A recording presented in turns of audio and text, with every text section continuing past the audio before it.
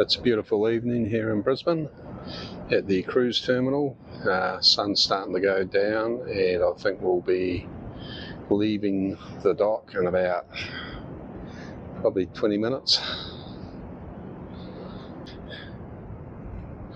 A couple of fellas out here uh, fishing off the back of the boat.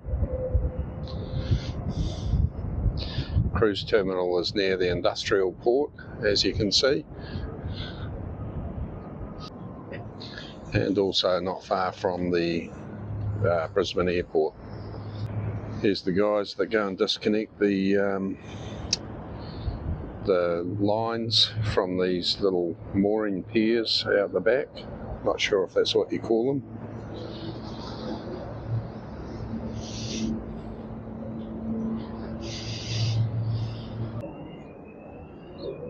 There's still a few stragglers coming in. What's the time? Whew. We're cutting it a bit fine.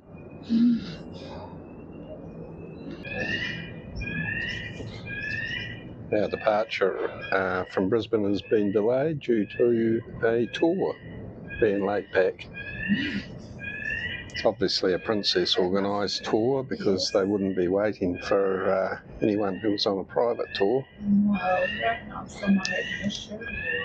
The noise you can hear is the alarms on the gangplank, which is sort of an air bridge arrangement. And just like that, we're pulling away from the wharf. Say goodbye to our three pelicans. We've been there all day.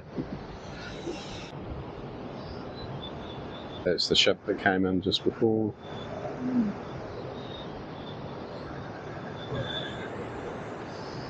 Got a lot of room to play with.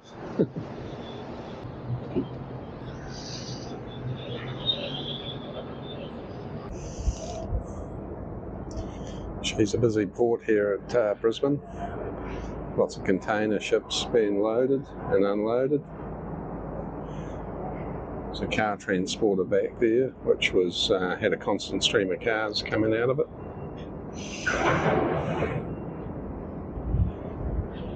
These industrial ports look quite different at night with all the lights on.